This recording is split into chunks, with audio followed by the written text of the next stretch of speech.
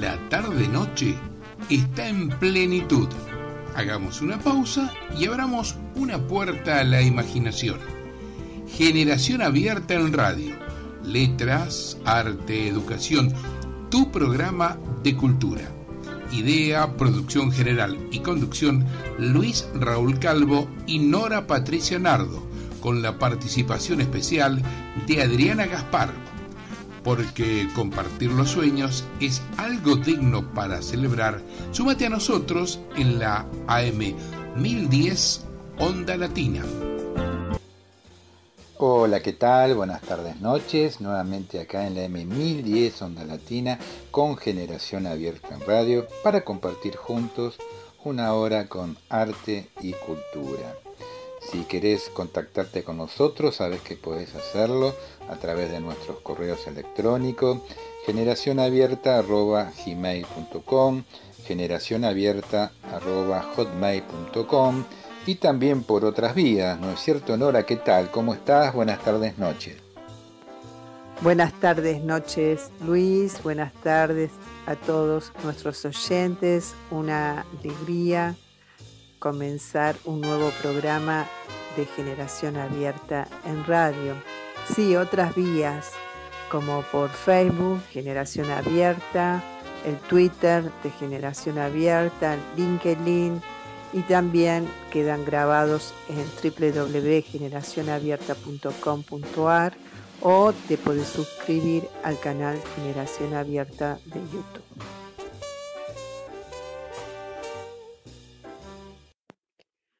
Pensando la educación.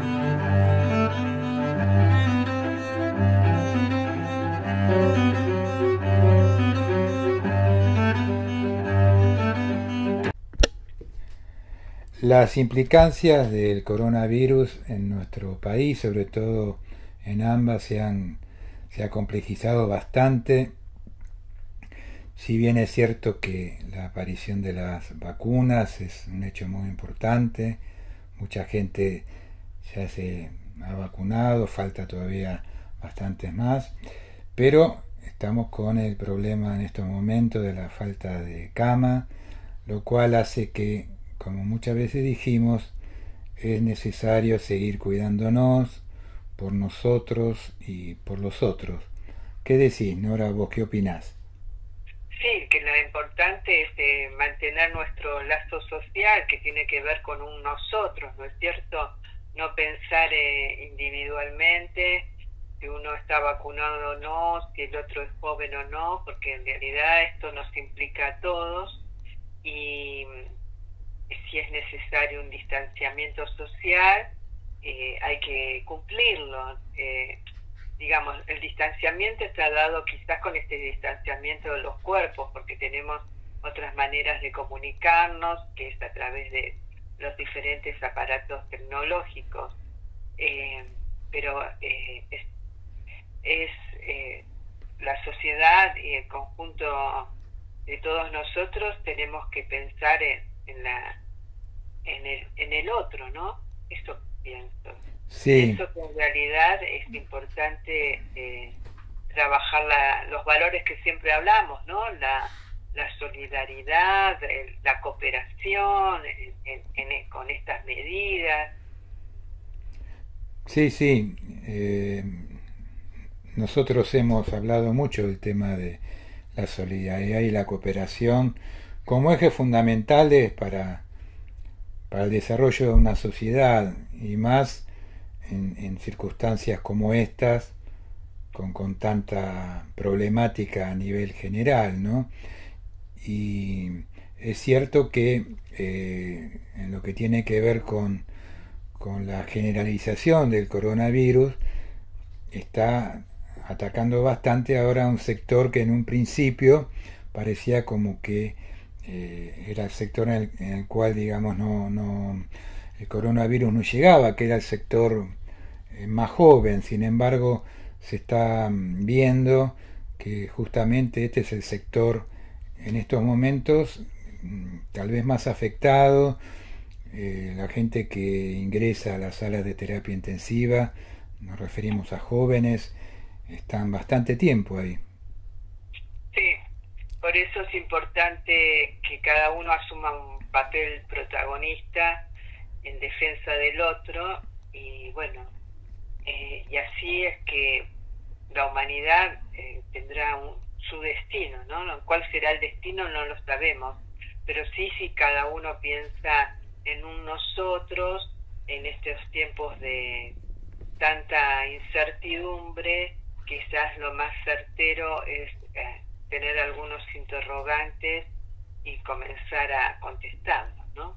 Sí, también tenemos que tener en cuenta que el hecho de estar vacunados no implica que eh, está todo bien ya, porque lo hemos visto con el presidente que aún con las dos dosis de la vacuna volvió a, a infectarse.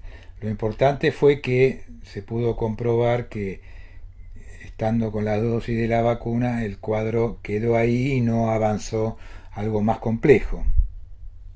Sí, sí, como bien vos decís, ¿no? Y también tenemos que tener en cuenta de tomar ciertos modelos de otros países que están saliendo de las cuarentenas, que están saliendo de, de los problemas graves que implica la, la pandemia y, ver cómo hizo, ¿no? Ver cómo acató la obediencia que tuvo, que en realidad evitó la anomia ante la incertidumbre, ¿no?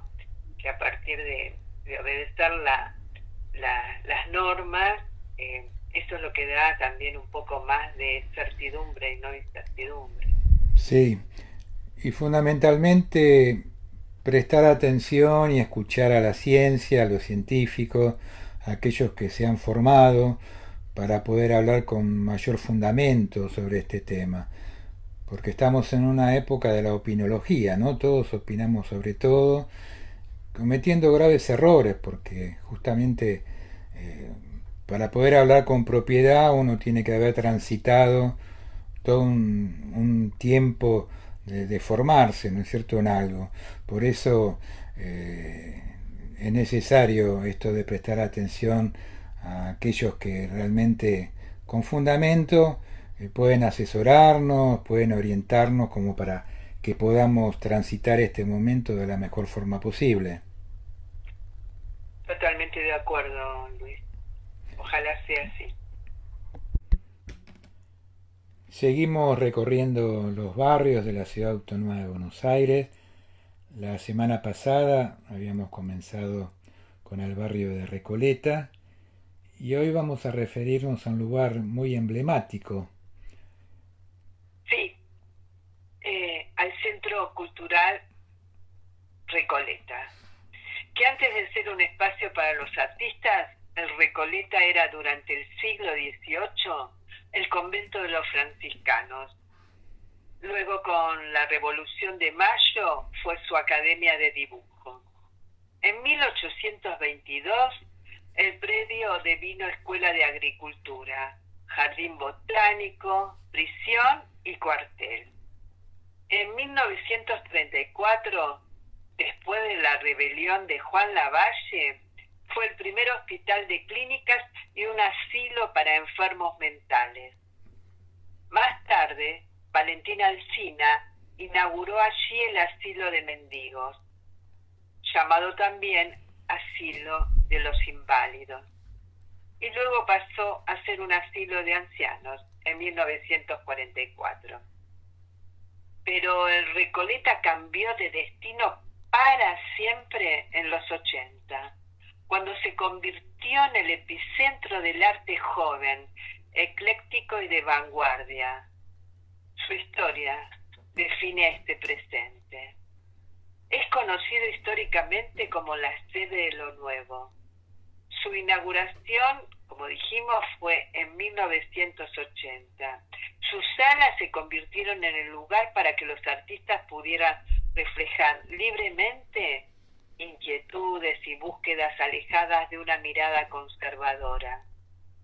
En una época donde había pocos espacios institucionales para expresarse, el Recoleta alojó las nuevas disciplinas, al diseño y a la moda, entendida como actividad artística, y a todas las tendencias emergentes que en esas salas se convertían en muestra y objeto de reflexión. Con una impronta arquitectónica que tuvo distintas etapas y el sello original de Clorindo Testa, Jacques Bedel y Luis Benedit, el Recoleta fue uno de los principales centros que albergó en los 80 ese clima de época que se había forjado en los últimos años de la dictadura militar, durante los cuales los artistas jóvenes se unieron en espacios clandestinos y construyeron una cultura underground, transgresora, en sótanos, locales nocturnos y discotecas. En los primeros años de democracia y bajo la dirección del arquitecto Osvaldo Chiesto, el Recoleta fue uno de los primeros circuitos oficiales en incluir en sus salas estas expresiones artísticas que habían nacido en los márgenes y el concepto de joven que había sido asociado a lo peligroso durante la dictadura militar fue una en el Recoleta fue una reivindicación fundamental que se logró al darle más visibilidad a las nuevas generaciones. Durante los 80, con la idea de seguir el modelo del Centro Pompidou de París y el, espíritu del Instituto de Itela de los 60, el Recoleta reflejó a través del arte la apertura democrática que transitaba el país. Se reunieron voces diversas y lenguajes artísticos distintos. Música, teatro, artes plásticas, performance y propuestas artísticas alternativas. Además, fue sede del cruce de lenguajes, lo académico con lo callejero, lo consagrado con las nuevas tendencias, lo lúdico con lo educativo. En poco tiempo, su idea de pluralismo y diversidad repercutió en la ciudad y su público se multiplicó de manera, exponencial.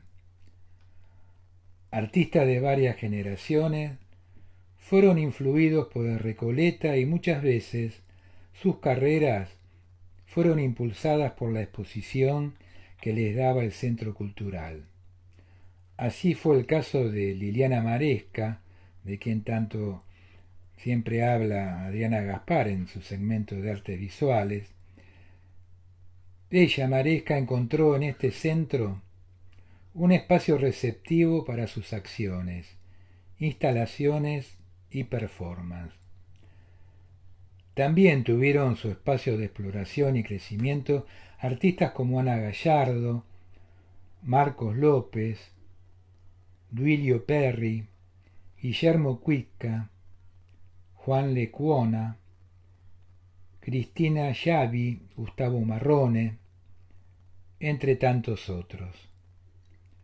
Entre los momentos fundantes del arte argentino, en esta sede se presentó Gota de Agua Hidroespacial y Arco de Triunfo del gran Giulia Cosice, quien fuera colaborador permanente de nuestro proyecto cultural Generación Abierta, tanto en la, en la revista en donde lo hemos entrevistado, donde él ha publicado artículos de su pertenencia que después se tomaba el trabajo de, de traducirlo al francés para enviarlo a Francia y que afortunadamente pudo tener su, su museo como él quería, no museo oficial, digamos, de ciudad, ¿no? De Autónoma de Buenos Aires, pero sí un museo privado que le permite, le permite, digamos, ya fallecido, que toda esa obra tan importante y trascendente que dejó pueda ser visitada en forma gratuita por muchos colegios, muchas escuelas e instituciones públicas, Nora. Sí, como bien decís vos, eh, eh Cosiche, un colaborador incesante de la revista Generación Abierta, muy querido por todos nosotros y él también quería el proyecto nuestro, ¿no es cierto? Siempre con una sonrisa y con buen talante. Eh, hemos estado también en estas muestras tan importantes y por suerte están también en, en toda la ciudad, ¿no? No solo en el centro Recoleta vamos a encontrar la obra de él, sino en, en nuestra ciudad, en el país y en otras ciudades del mundo. Por supuesto, en muchos lugares, es uno de los artistas eh, latinoamericanos más importantes, Julia Kosice.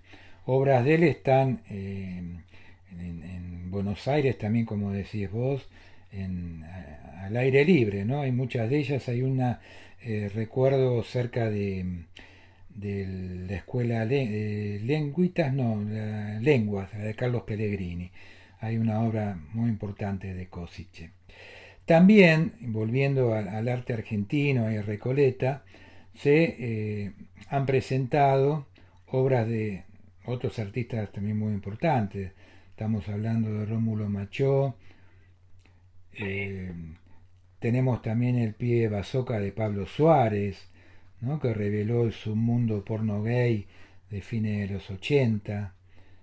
Se exhibió Naturaleza, de la Naturaleza, de Luis Felipe Noé, trabajos de León Ferrari.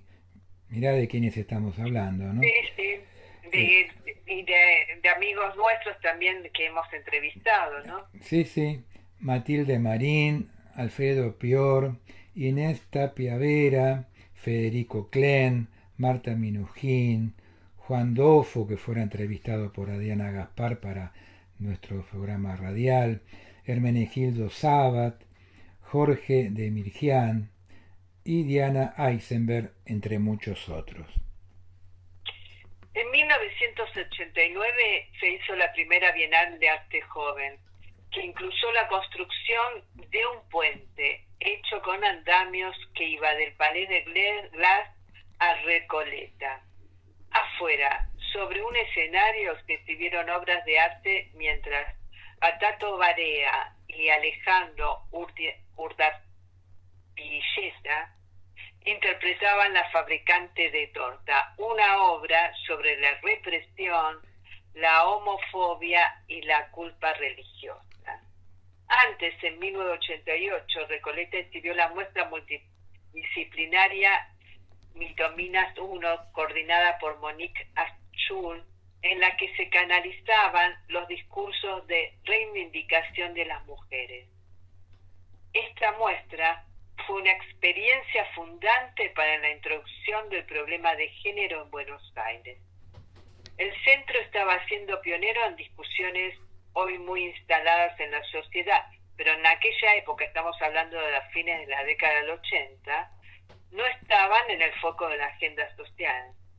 También fue el espacio para que las abuelas de Plaza de Mayo pudieran hacer visible la búsqueda de sus nietos en 1998 se inauguró la muestra Identidad, una instalación hecha por artistas como Carlos Alonso, acá estamos de nuevo con Nora Aslan, Mireya Baglietto, Remo Bianchetti, Diana Dowes, León Ferrari, Adolfo Nigro, Luis Felipe Noé, Marcia Bar, en la que se desplegaba un gran friso hecho de espejos y 173 fotos desaparecidos de personas desaparecidas durante la última dictadura.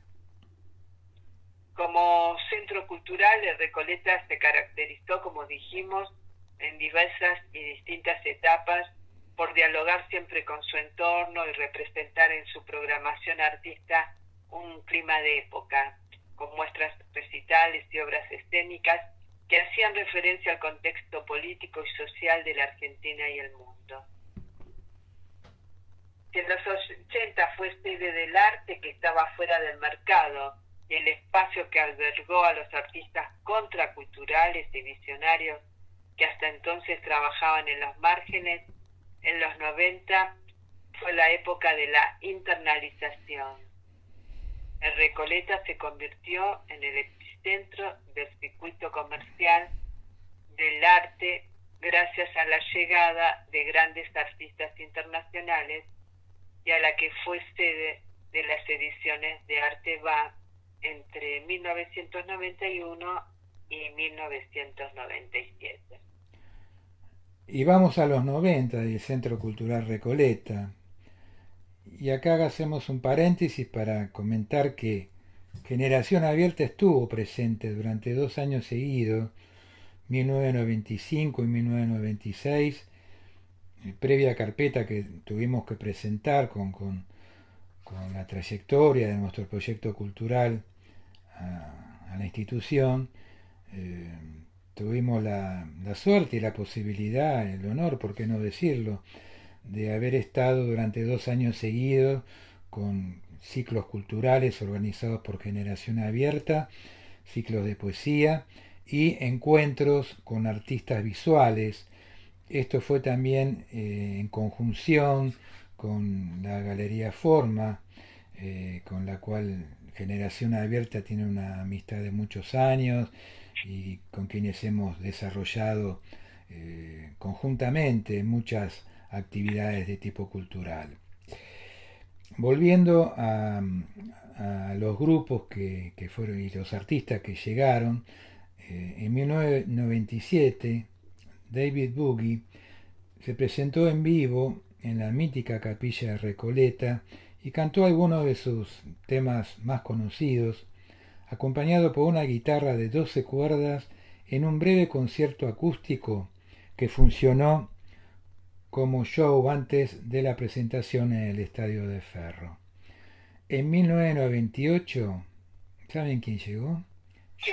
Yoko, Ono, con su muestra en trance en la que cien ataúdes se ubicaban en un enorme galpón y del interior de cada una de ellas crecía un árbol. Yoko Ono, quien eh, fue tan importante que haya venido al país que haya podido mostrar su, arte, porque acá era conocida como eh, la persona que había separado a los Beatles, ¿te acordás, Nora? Sí, sí, no tenía eh, buena fama. Claro, no tenía buena fama, no, jamás se hablaba de ella como artista.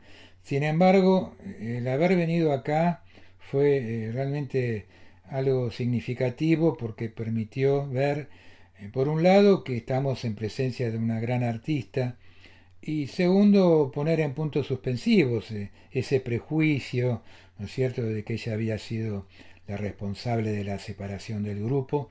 Durante la muestra de Yoko Ono hubo dos artistas muy importantes argentinos, Charlie García y Gustavo Cerati, quien fueron a saludarla a Yoko en un encuentro inolvidable para el archivo del Centro Cultural. Ese mismo año Cerati dio un show histórico en la terraza Recoleta en el cual presentó Plan 5, un proyecto solista y electrónico en un momento de transición entre la ruptura de Soda Stereo y el ingreso definitivo a su carrera solista. Hay salas permanentes dedicadas a los adolescentes y al hip hop, al dibujo, una zona de estudio, un espacio de ocio y recreación, un bar y una tienda de objetos de diseño argentino contemporáneo, además de la terraza, el cine, el laboratorio musical, el centro de investigación, la residencia para artistas, la capilla y las salas de exhibición para artistas visuales. Como vemos, tenemos un lugar realmente de suma importancia en, nuestro país. Ahora con el tema del coronavirus sabemos que eh, está todo condicionado a, a, los avances y retrocesos de esta pandemia, pero siempre es bueno tener presente al Centro Cultural Recoleta.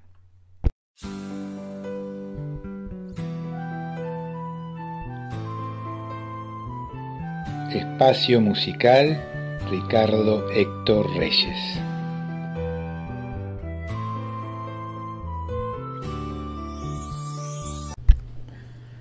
Vamos a la parte musical. Hoy vamos a dedicarnos a esa raza tan particular e importante que son los cantautores. En primer lugar, Luis Pastor y Luis Eduardo Aute interpretando Así te quiero yo. Adelante, por favor.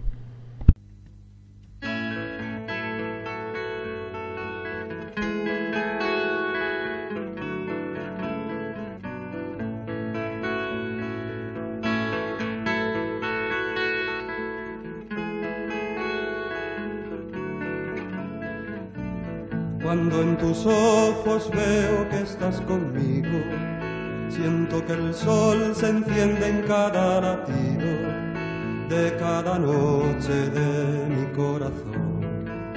Así te quiero, así te quiero yo. No quiero que tú veas lo que yo veo, ni que tú pienses lo mismo que yo pienso es algo que no tiene explicación.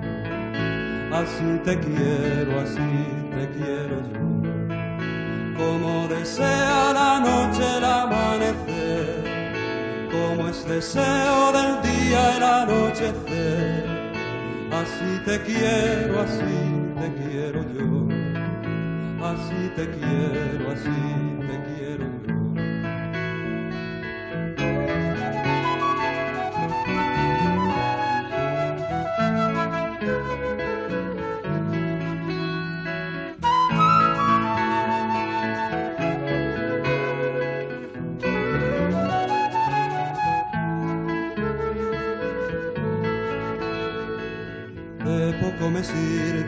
seguro de que ante todo amar es vivir la libertad.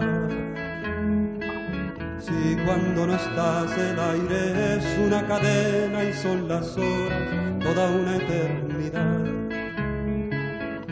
No sé qué hace cambiar mi forma de pensar. Te reconozco sufrimiento no es esa angustia que siento, ese sentimiento terrible que mata y engendra el amor. Cuando en tus ojos veo que estás conmigo, de poco me sirve estar seguro de que ante todo amar es vivir la libertad. Siento que el sol se enciende en cada latido. Si cuando no estás el aire es una cadena son las horas toda una eternidad. De cada noche de mi corazón, así te quiero, así te quiero yo. Como desea la noche el amanecer, como es deseo del día el anochecer así te quiero, así te quiero yo, así te quiero, así te quiero yo.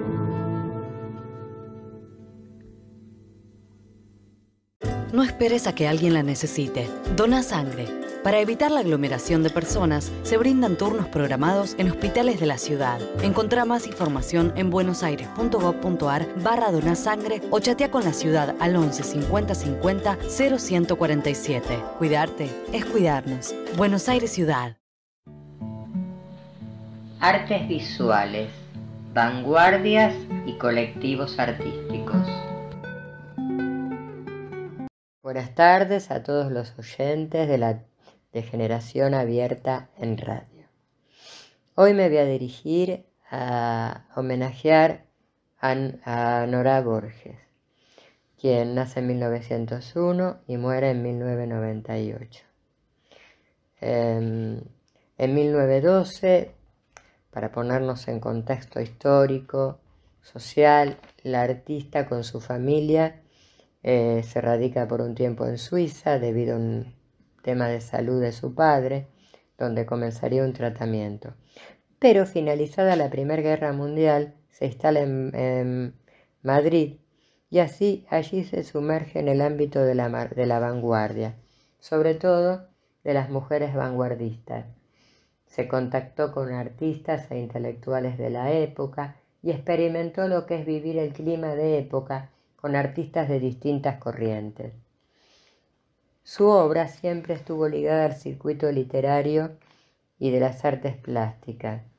al circuito literario eh, no solo por el vínculo estrecho que tenía con su hermano Jorge Luis Borges, sino porque ella eh, formó parte de ese circuito literario, ¿no?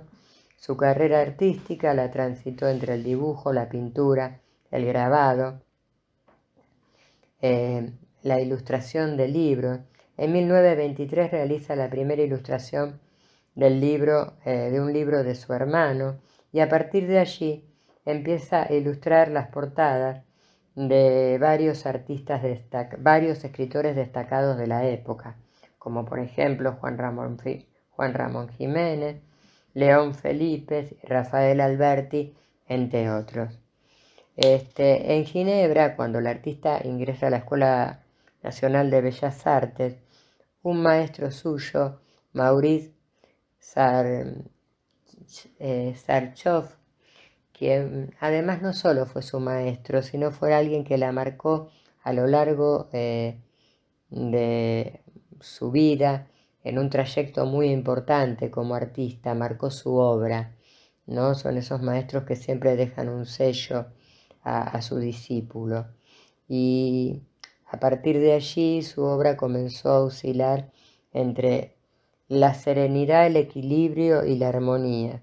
Su trabajo creador siempre se manifestó a través de su obra pictórica, su labor ilustrativa, gráfica, el grabado, pero también sus actividades como crítica de arte, aunque esta última estaba firmada con un seudónimo, dado que ella concedía la escritura como un tema inherente a su hermano.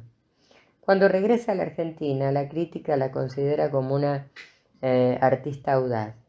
Mi pregunta es si la considera como una artista audaz porque viene de conformar parte de esa vanguardia de mujeres españolas y viene con ese impulso creador y ese impulso de mujer artista, o si la considera una artista audaz por el rol de ser artista que ocupaba eh, en ese momento para lo que era la, eh, la, historia del arte y para que eran los, aquellos tiempos, las primeras décadas del siglo XX en nuestro país, donde la cultura patriarcal no reconocía de la misma manera eh, a los artistas varones que a, las mujeres artistas, ¿no es cierto?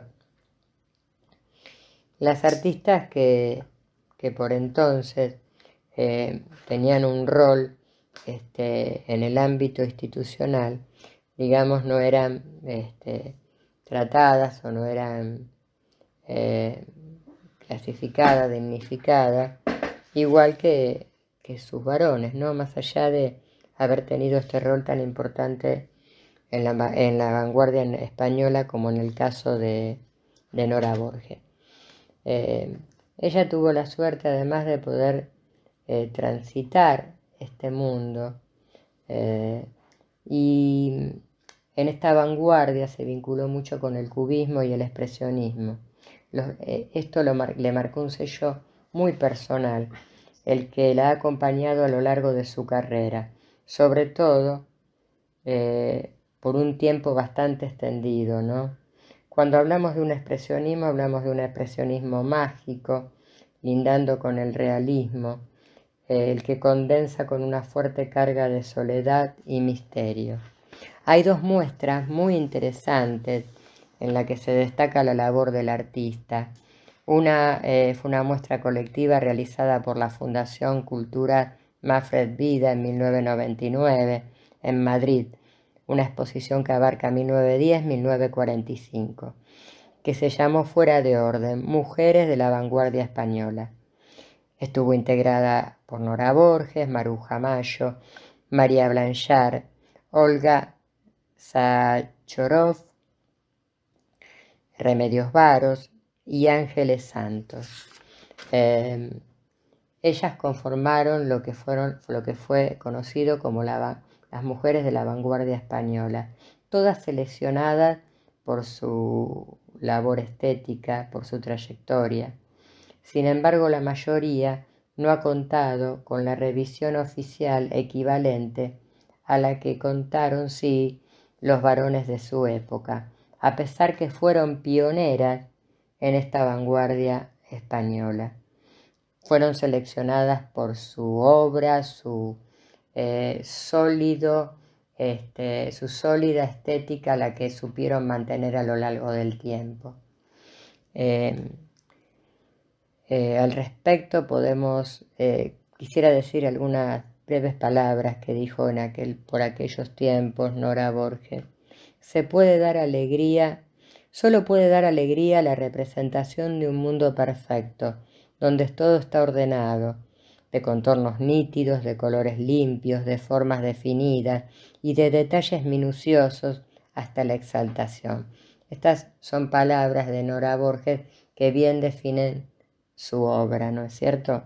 Y otra muestra destacada fue la que se realizó en el verano del 2020 en el Museo Nacional de Bellas Artes, la que estuvo comprendida por dibujos, pinturas, grabados, ilustraciones, parte de su archivo, objetos y mucha documentación de toda su trayectoria a lo largo de la historia del arte.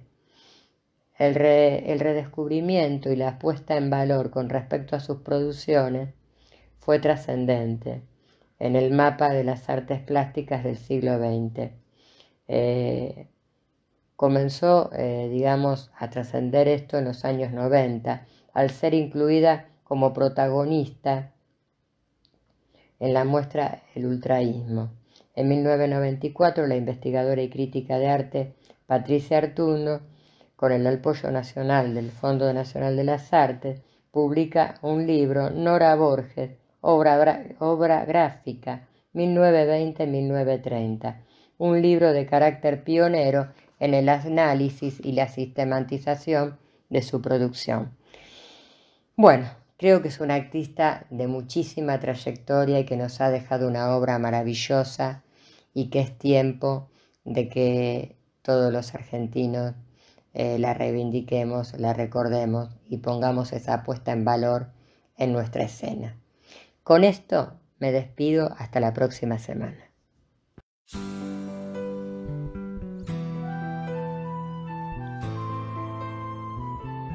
Espacio musical Ricardo Héctor Reyes.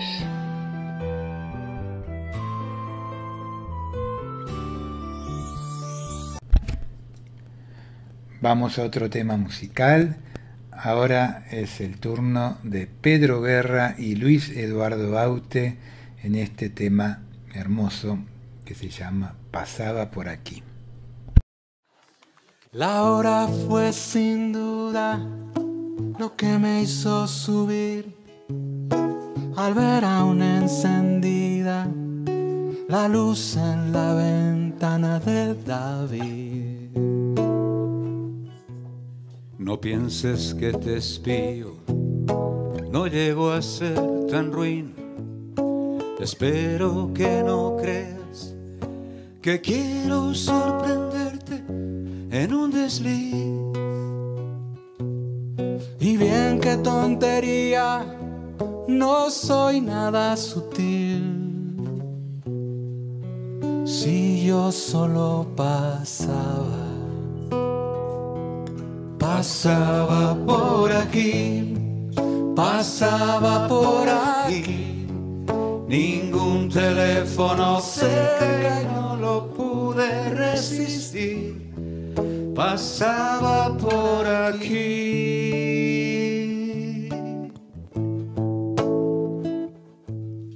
¿Qué esperas que te cuente? Hay poco que decir Tal vez me vaya un tiempo, no aguanto este coñazo de Madrid. Te veo muy distinta, es nuevo ese carmín. Estás mucho más guapa. ¿Será que te embellece ser feliz? ¿Qué cosas se me ocurre? Todo esto es tan pueril. Si yo solo pasaba, pasaba por aquí, pasaba por aquí. Ningún teléfono se no lo pude resistir. Pasaba por aquí, pasaba por aquí. Ningún teléfono cerca no lo pude resistir. pasaba por aquí.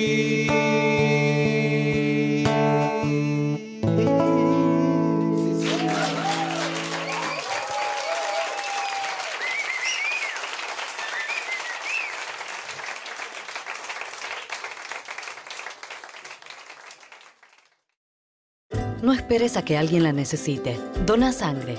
Para evitar la aglomeración de personas, se brindan turnos programados en hospitales de la ciudad. Encontrá más información en buenosaires.gov.ar barra donasangre o chatea con la ciudad al 11 50 50 0147. Cuidarte es cuidarnos. Buenos Aires Ciudad. Poetas, y movimientos, en poesía.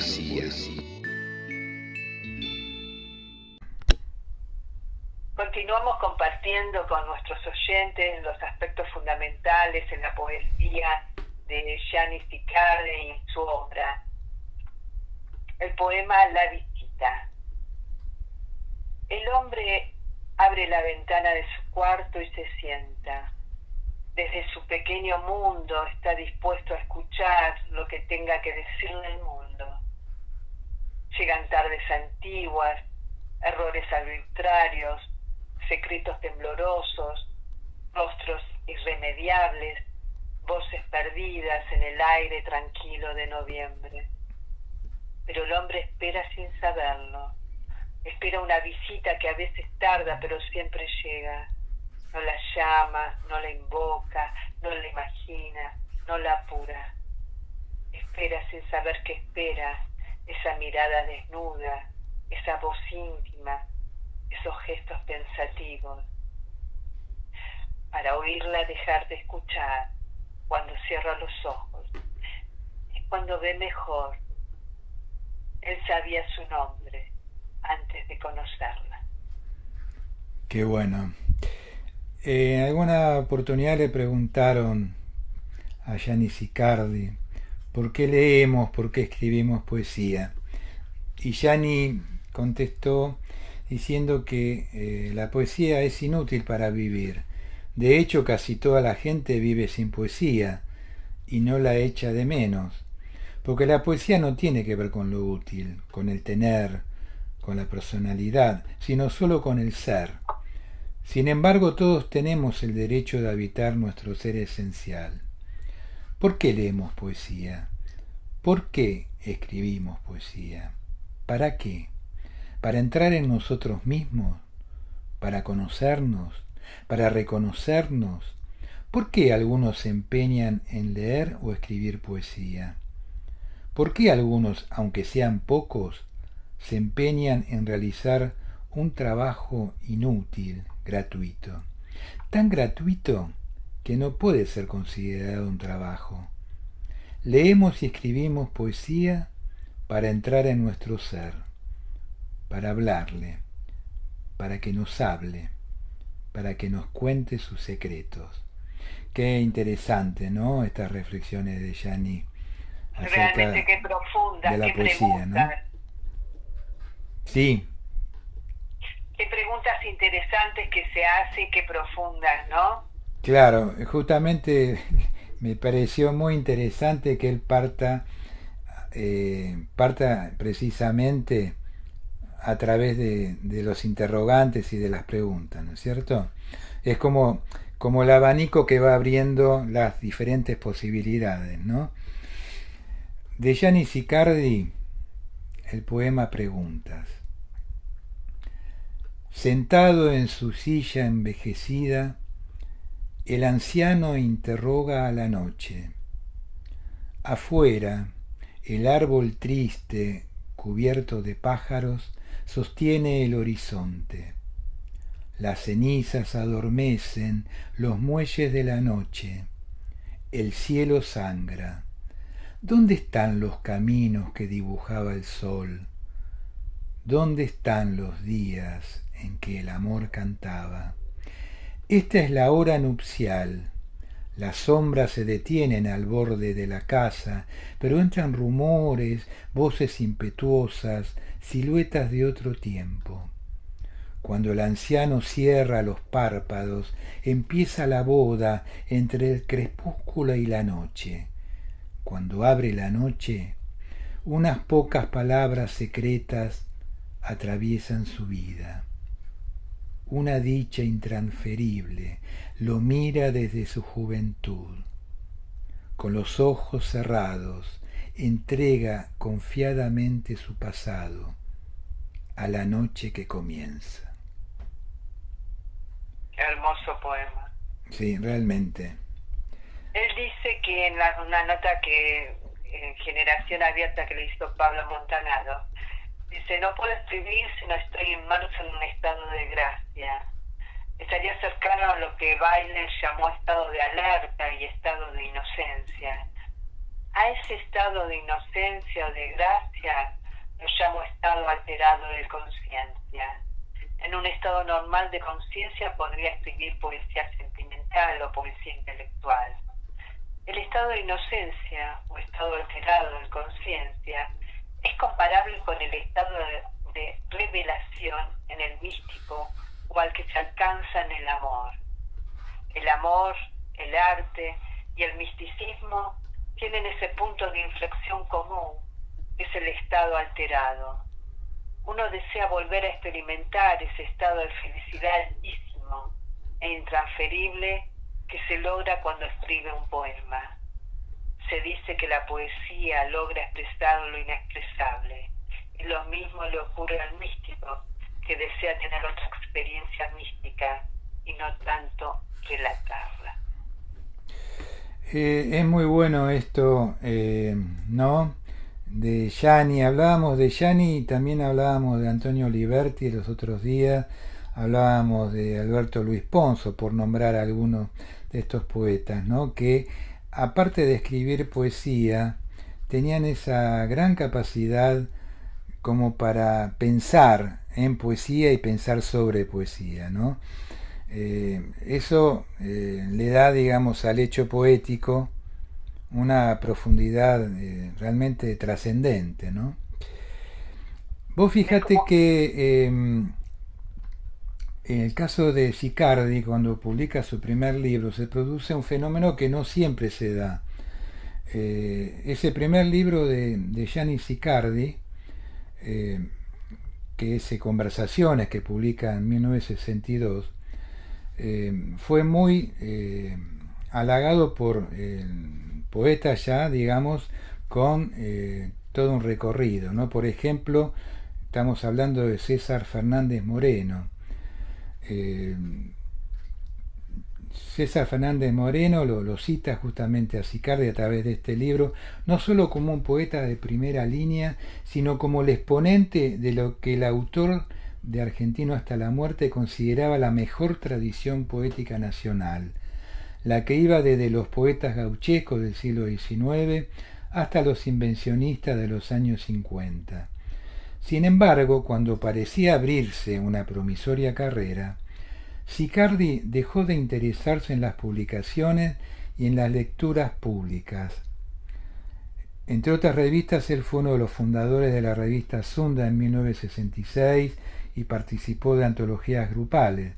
Pero, a pesar de todo esto, comienza a alejarse de los ambientes literarios. Recién, eh, muchos años después, eh, vuelve nuevamente, ¿no es cierto?, a, a, tomar este rumbo, ¿no es cierto?, de las publicaciones. Sí, y nos dice también, eh, y qué interesante, ¿no?, y qué publicaciones.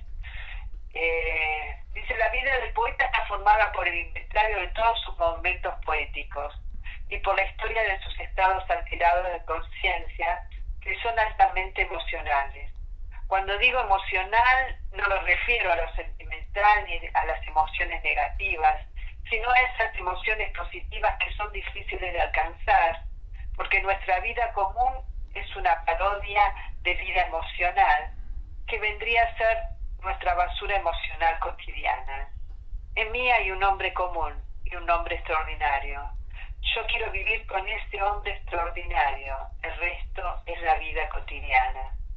Los grandes momentos de la vida son los del amor y los de la poesía. Lo demás no vale la pena mencionarlo y menos escribirlos en un poema. Durante más de 20 años no volvió a publicar. Eh, un poco volviendo a este tema, ¿no? Sin embargo, no cabe dudas que, eh, a mi entender, lo otro siguió estando presente. Esto de pensar en poesía y pensar desde la poesía, ¿no? Eh, según Michel Vegas, eh, Sicardi prefirió el rol de autoinmolado lírico al de repetidor insaciable. Muy bueno esto de, de Michar Vega, ¿no? A quien tuvimos la, la posibilidad, me acuerdo hace algunos años, primeros años de los 2000, de los comienzos de los años 2000, lo llevó Eduardo Dalter a, a una plaza, me acuerdo, realizando ese ciclo que él había comenzado de poesía en las plazas y lo llevó a Michar Vegas, quien estuvo cantando algunos temas. ¿Tenemos algún otro poema de, de ahí, Nora? Sí. El sueño ritual. Ella duerme y sueña conmigo, un sueño hermoso en que le entrego un frasco.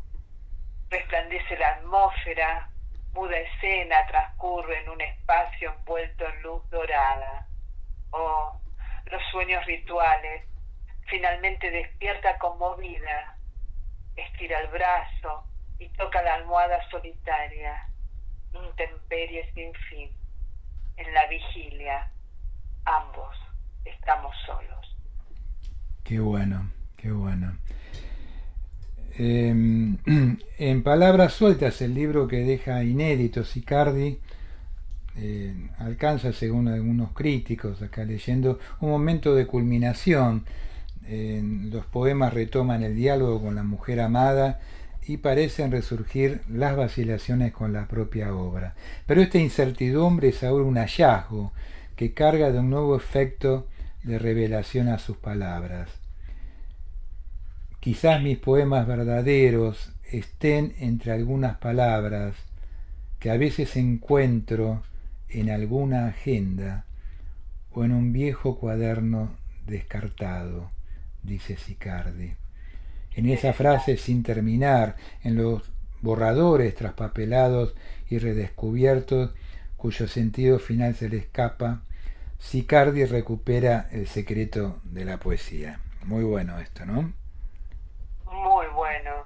Sabes que también escribe Ofelia Funes, dice, uno de los aspectos fundamentales en la poesía de Gianni Sicardi es su homenaje permanente a la vida, donde la belleza es reconocida como característica ineludible de la condición humana, belleza como resplandor de la verdad, esa verdad que el poeta busca indagando en los silencios que permanentemente se cruzan en su camino.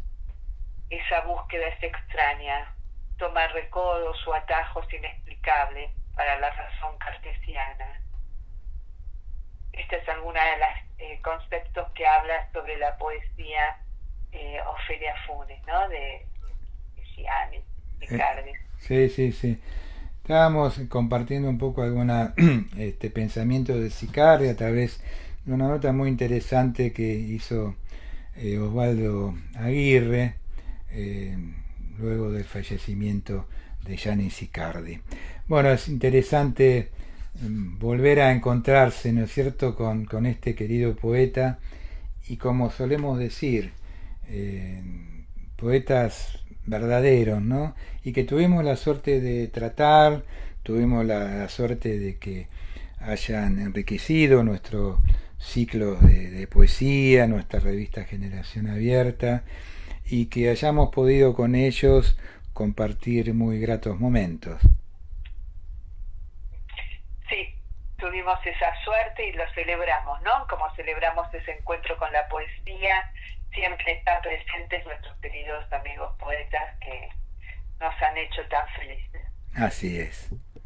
Se nos fue el programa y queremos agradecerle a Aníbal y Leandro de la M1010 Onda Latina por todo su apoyo y colaboración y nos vamos hasta el próximo martes recordando que compartir los sueños es algo digno para celebrar. Muchas gracias.